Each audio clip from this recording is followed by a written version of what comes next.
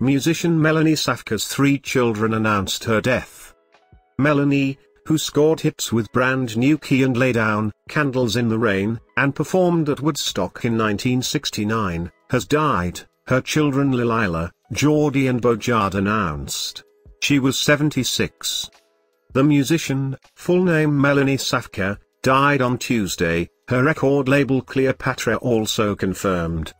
This is the hardest post for us to write, and there are so many things we want to say, first, and there's no easy way except to say it.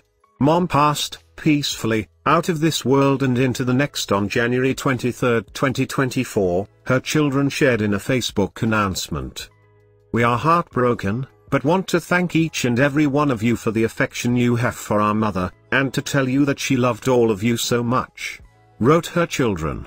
She was one of the most talented, strong and passionate women of the era and every word she wrote, every note she sang reflected that.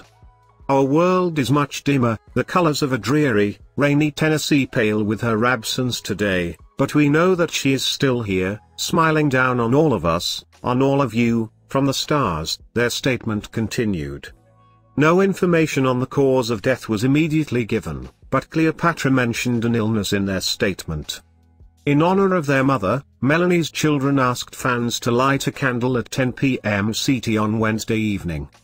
Melanie was born February 3, 1947, in Astoria, New York. As she pursued her singing career, she studied at the American Academy of Dramatic Arts. In 1967, she met her future manager, producer and husband, Peter Schekeryk. She released two singles, Beautiful People and Garden in the City, after she signed with her first record label, Columbia Records. According to her most recent record label, Cleopatra, she left Columbia Records in 1968 and joined Buddah Records, where she released her debut LP. The following year, when the singer was 22 years old, she performed at Woodstock, joining a historic lineup that included Joan Baez, Jimi Hendrix and the Grateful Dead. The terror kept building in me, she told the Associated Press in 2019.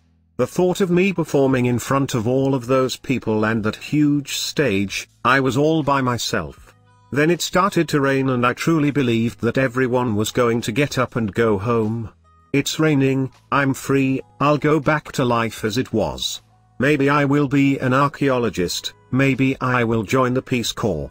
That's when they said, you are next. In 1971, Billboard named her the year's biggest selling female artist in the US after she released several hits, including Lay Down and a cover of the Rolling Stones' Ruby Tuesday. Melanie then formed her own record label, Neighborhood Records, and released her chart-topping single Brand New Key. Before her death, Melanie was working on her 32nd album, a tribute album tentatively titled Secondhand Smoke. The album featured versions of Morrissey's Ouija Board Ouija Board, Nine Inch Nails Hurt, Radiohead's Creep, among others. Additionally, Melanie was working with the Cleopatra label to reissue her previous albums that were released after she left Buddah in 1971. The reissue rollout will start with the release of her 1984 live album One Night Only. Her three children will supervise the project's execution, which will be released posthumously.